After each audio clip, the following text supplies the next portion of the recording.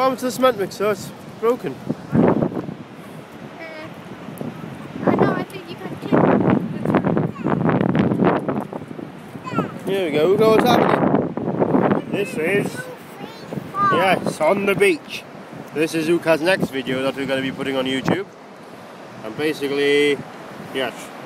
So now the cement mixer is broken down on the beach.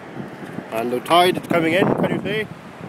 And Lucca James is trying to save his operation. Lucca James, what is your name?